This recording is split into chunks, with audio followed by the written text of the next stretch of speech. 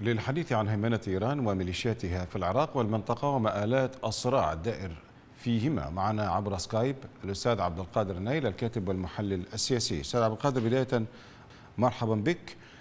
لو لو نبدأ من الخبر الذي أوردته رويترز عن سحب الحرس الثوري كبار ضباطه من سوريا عقب الضربات الإسرائيلية الأخيرة إلى أي مدى ترى أن إيران غير راغبة بالمواجهة مع الولايات المتحدة. أسعد الله مساءكم وأهلا وسهلا بك وبمشاهديكم الكرام. من المعلوم تماما أن ما تفعله إيران حقيقة يؤكد تماما على الوصف الذي أطلق على أذرعها وعلى إيران أنهم أمة الجبناء. لأنهم حقيقة رفعوا شعارات واسعة وصريحة بأنهم يناهضون الوجود الأمريكي وأسسوا لذلك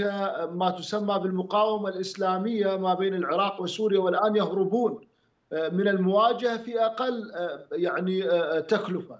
لذلك حقيقة عمليات سحب إيران لضباطها والتهدئة التي أعلنتها بعض الميليشيات العراقية بمقدمتها ميليشيات حزب الله وهي أحد أذرع إيران تؤكد تماما على أن إيران تحاول تجنب المواجهه مع الولايات المتحدة الأمريكية وتسعى لكسب الوقت وتخفيف الضربات عليها من أجل إعادة مرة ثانية إلى دورها السابق في احتلال المدن في العراق وسوريا.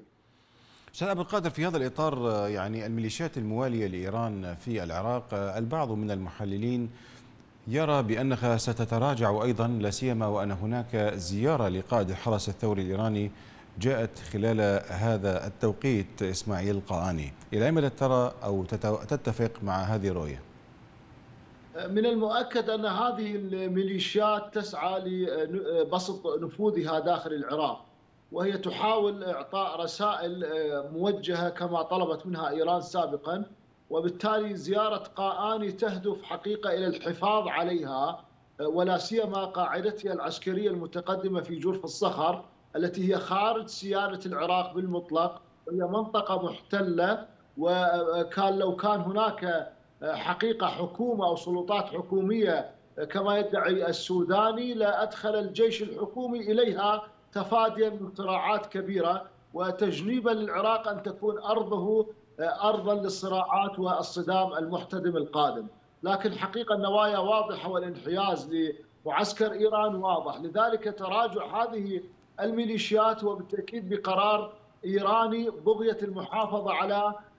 قدرتها في السيطرة على الدولة العراقية وسرقتها ونهبها والانحياز الكامل لها من خلال تهديد السلاح المنفلت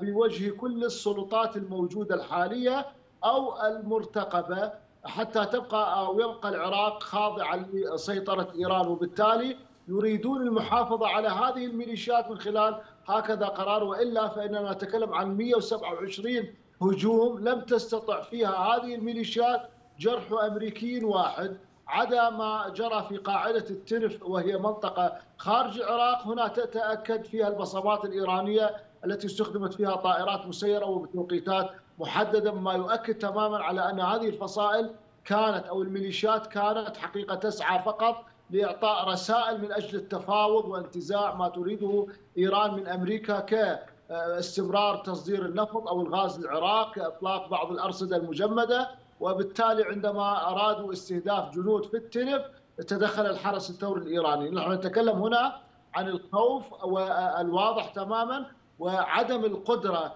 يعني إذا ما وازنا ما بينها وما بين المقاومة العراقية الحقيقية التي كانت تقتل الأمريكان وتدفن في أمريكا مئات الجنود يوميا أو شهريا وبالتالي لم تستطع التراجع بل بقت صامدة مصممة في مقاومتها وهنا حقيقة يعكس الفرق بين هؤلاء الذين يدعون أنهم مقاومة هم يكذبون زورا وبهتانا على هذا الاسم الكبير. طيب عبد القادر وزير الدفاع الأمريكي لويد أستون يقول إن بلاده سيكون لها ردا أو رد متعدد المستويات على الهجمات التي طالت القوات الأمريكية في المنطقة، أي سيكون هناك رد على الميليشيات الموالية لإيران على النفوذ الإيراني، ولكن هنا السؤال يعني إذا كانت الولايات المتحدة تملك من القوة العسكرية وتملك ما تملك وشاهدنا ما جرى